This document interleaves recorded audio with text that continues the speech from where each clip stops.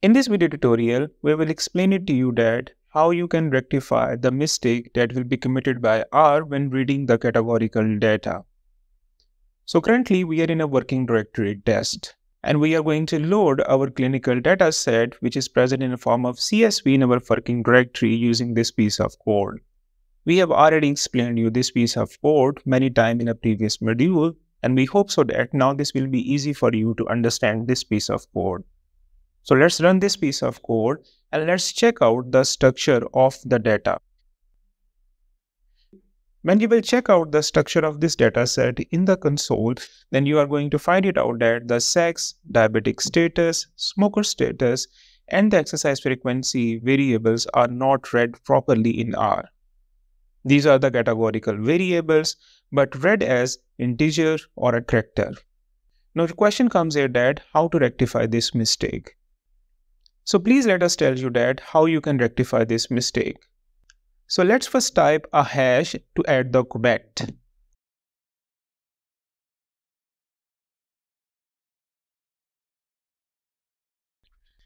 After typing this comment, now let's write down the piece of the code that will rectify that mistake.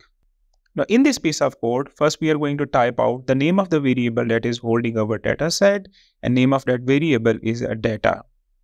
After it, we will type the dollar sign. We hope so that now you will have a good idea that why we are using that dollar sign. This dollar sign is used to select the column in which we are interested. So let's select the sex column first. After selecting the sex column, we are going to type this sign of equality operator. After typing this sign of equality operator, we are going to use a one function and this function is as dot factor.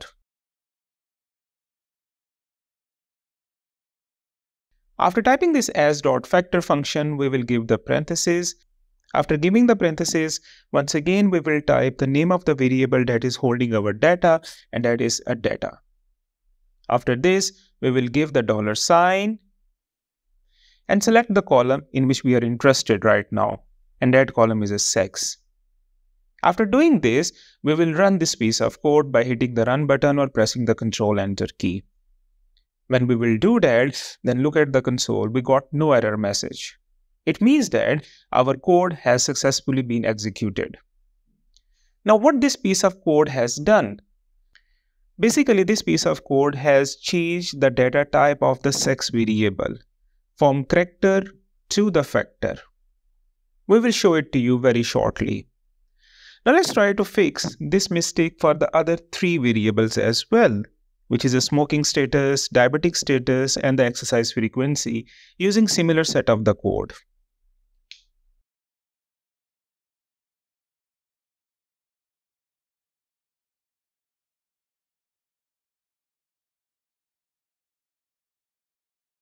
Now we have written the code to change the data type of the diabetic status from integer to the factor. Let's run this code. Now as you can see it here that we got no error message once again. Now let's repeat this process for the other two variable as well.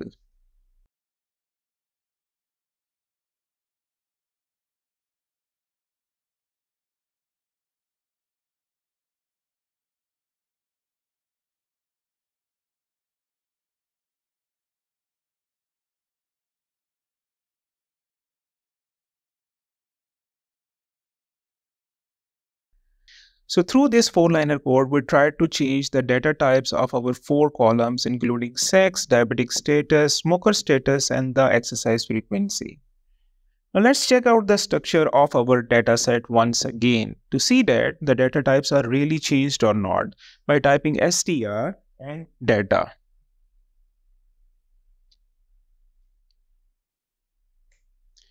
Now, if you look at here in a console, then you will see that in front of the sex, the factor is written. Similarly, in front of the diabetes, the factor is written. Likewise, in front of the smoker status and the exercise frequency, the factors are written. Now, we have successfully changed the data type of all of these columns in our data set from character to the factor and from integer to the factor. Now, we are good to go to analyze this categorical data using the different tools. Which we will explain you in upcoming video tutorials.